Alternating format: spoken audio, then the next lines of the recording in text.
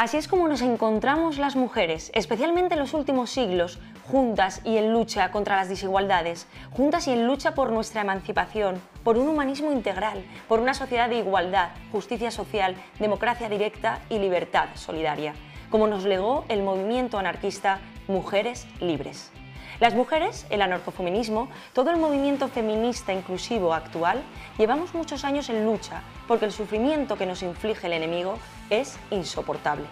Un sufrimiento que abarca lo físico, lo psicológico y lo ético, que nos afecta en todos los planos de la vida política, pública, laboral, social, económica, personal, afectiva, sexual, cultural, educativa, creativa, el enemigo al que nos enfrentamos es muy fuerte, polifacético y agresivo. Vencerlo significa haber conseguido la plena transformación social, haber construido una nueva sociedad de justicia, libertad e igualdad plena de todos los seres humanos. Ese enemigo se llama patriarcado ha existido prácticamente desde siempre, se ha disfrazado de múltiples formas, ha contado con amplias alianzas y no ha dudado en servir y usar un amplio abanico de ideologías políticas, sociales y económicas para así conseguir perpetuar su gran objetivo, como es la dominación del hombre sobre la mujer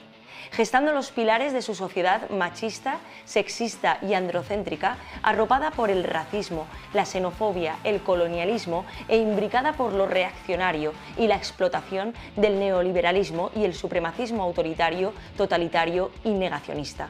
Pero si hay algún aliado con el que se identifica especialmente es con el capitalismo, Ambos, capitalismo y patriarcado, tanto monta, monta tanto, se retroalimentan mutuamente para que la sociedad actual que seguimos sufriendo sea la sociedad de las desigualdades. En esta sociedad, la mayor desigualdad es la que sufrimos las mujeres frente a los hombres discriminación, extorsión, abuso, desprecio, explotación, marginación, en igualdad de oportunidades, en visibilidad pública, en acceso a empleos de responsabilidad y gestión, en el desarrollo profesional, en la injusta brecha salarial y pensiones, en el reparto del trabajo doméstico y trabajo de cuidados, en la explotación mercantilista y objetualización sexual. Para la CGT, como organización anarcosindicalista, el 8 de marzo sigue siendo el Día Internacional de la Mujer trabajadora, porque en esta sociedad de desigualdades y clasista, la clase trabajadora es explotada y esa explotación se multiplica cuando hablamos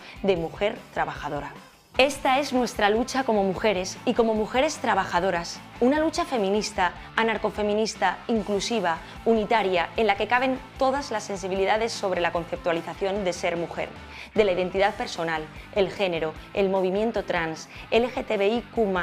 lo que significa que nuestra lucha plantea una revolución social integral basada en la justicia social y la libertad, la igualdad absoluta y real entre hombres y mujeres, una sociedad anticapitalista y libertaria sin mujeres explotadas, sin ningún ser humano excluido.